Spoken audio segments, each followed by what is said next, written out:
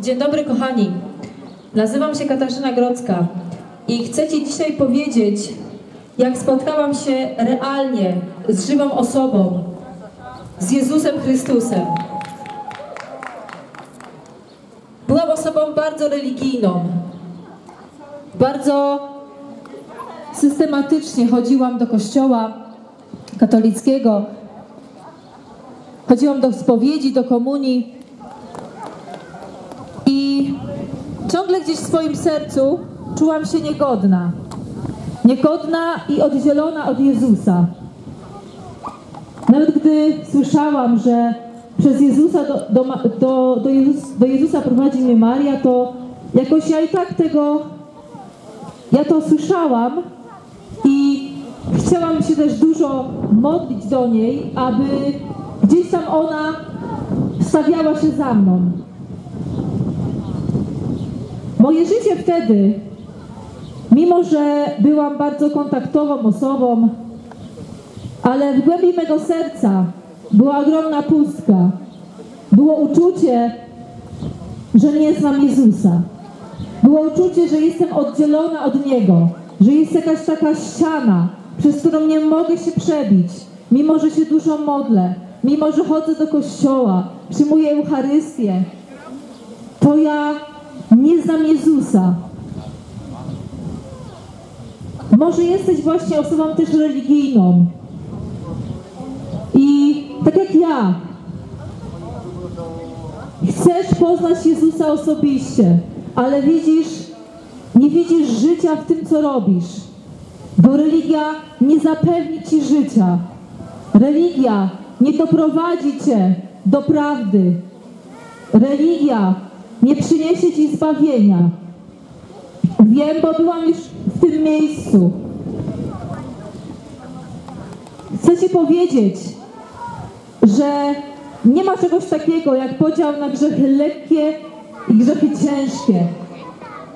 Też tak myślałam. Uwierzyłam w to, że tak jest. Ale chcę Ci dzisiaj powiedzieć i rozbić to kłamstwo, że jedynym grzechem, jedynym grzechem człowieka jest to, że nie uznajesz ofiary Jezusa Chrystusa i Jego zmartwychwstania, że odwracasz się plecami do tego, co zrobił dla Ciebie Jezus Chrystus dwa tysiące lat temu.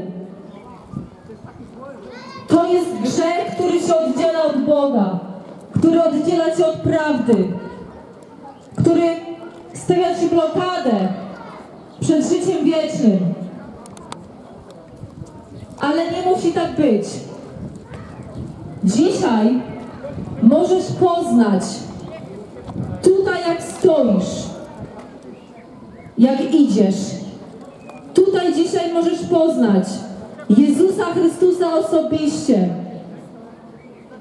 Możesz tutaj dzisiaj wezwać Jego imienia.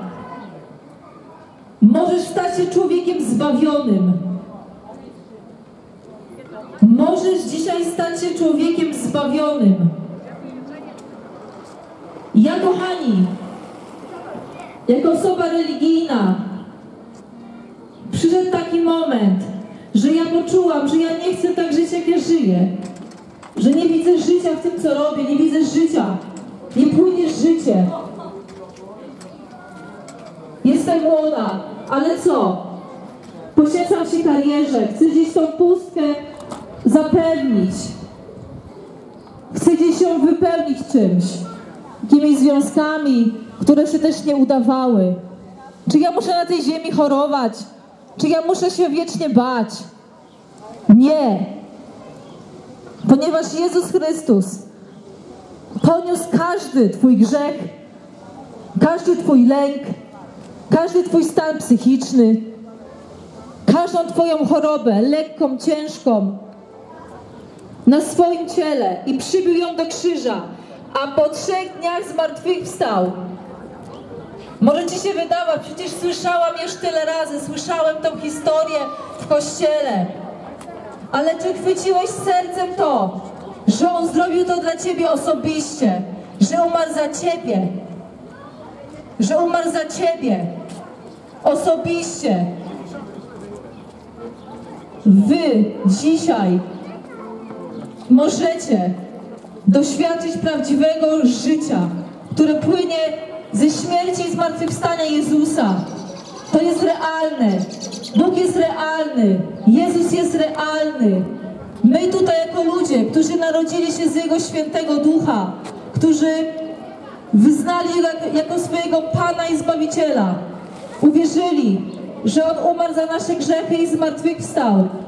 Zostaliśmy wypełnieni Duchem Świętym i mamy pewność zbawienia i przynosimy Wam tą prawdę tutaj dziś, abyście Wy zostali uratowani. Waszym jedynym ratunkiem jest Jezus Chrystus. Nie pośrednicy, nie sakramenty, nie Kościół katolicki, ale Jezus Chrystus. Zostałeś powołany do relacji z żywym Bogiem tutaj na ziemi. Nie po śmierci tylko, ale tutaj na ziemi. Jeżeli nie masz pewności zbawienia, porusza cię to, co mówię, to dzisiaj, kiedy wrócisz do domu, podejmij najważniejszą decyzję w swoim życiu.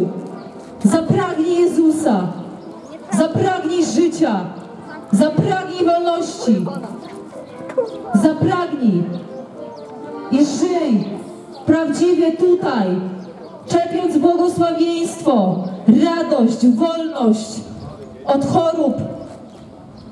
Możesz mieć szczęśliwe życie tutaj na ziemi. Możesz mieć tutaj na ziemi relacje z Jezusem Chrystusem. Tutaj na ziemi możesz mieć zwycięskie życie. Od Ciebie to zależy. Podejmij decyzję. Podejmij decyzję. Uwierz w to, że Jezus Chrystus wykonał to dzieło za Ciebie osobiście. Uwierz w Jego śmierć i zmartwychwstanie, a będziesz realnie żył. Będziesz człowiekiem zbawionym. I tego Ci dzisiaj życzę. Jeżeli chorujesz, potrzebujesz uwolnienia, to możesz podejść do mnie, do moich przyjaciół i możemy się o Ciebie modlić. Chcesz dzisiaj doświadczyć Bożej mocy? Chcesz doświadczyć życia? Chcesz doświadczyć wolności? Jeżeli tak, to przyjdź. Przyjdź. To wszystko dostępne jest dla Ciebie. Amen.